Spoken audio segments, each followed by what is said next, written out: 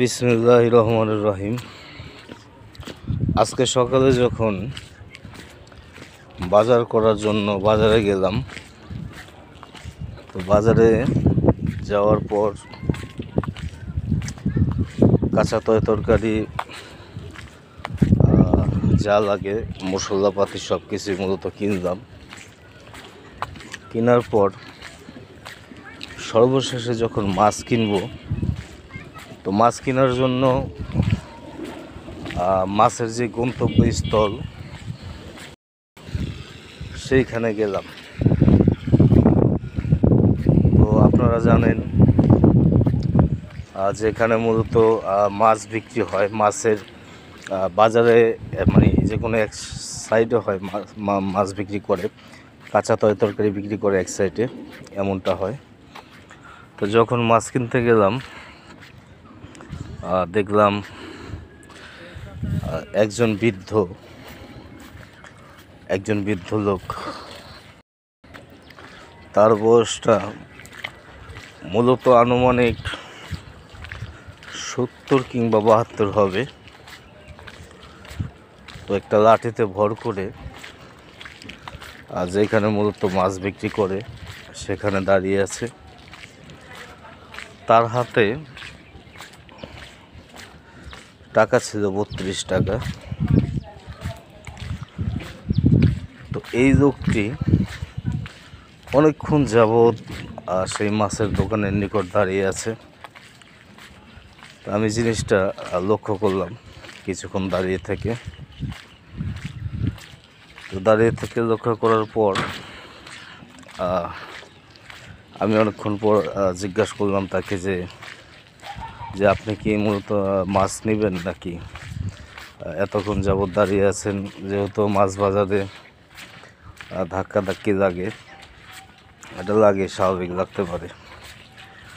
তো অনেকক্ষণ জিজ্ঞানার পরে সে বলল যে হ্যাঁ মাছ কিনবো। তো তার হাতে মূলত দেখতে পারলাম যে, বত্রিশ টাকার মতো তো তার হাতে যখন সত্তর টাকা দেখলাম, এই তিরিশ, বত্রিশ টাকা দেখলাম, তখন আমি বললাম যে, মুরব্বী, এই টাকা কি আপনি মাছ পাবেন? তখন সে বলল যে, আমার রতন বলেছে মাছ খাবে। রতন কে? যে আমার সন্তান। তার বয়স এগারো বছর। তো তার কথা সূত্রে জানা গেল, তার সন্তান অনেক দেরিতে হয়েছে। দেখেন, একজন বাবা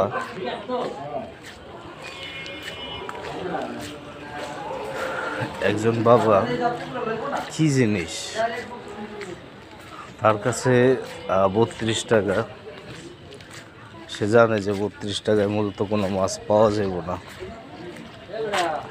তারপরও কিন্তু সে চেষ্টা চালিয়ে গেছে যে তার সন্তান মাছ খাবে এর জন্য। আসলে বাবা জিনিসটা এইরকম।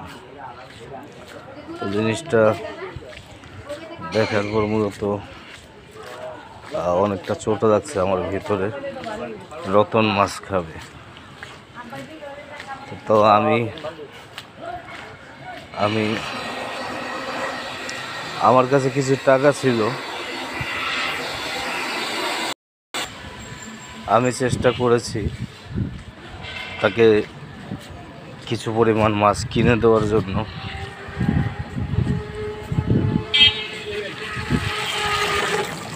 তো আপনি যদি দেখেন কখনো এমন মানুষ দেখতে পান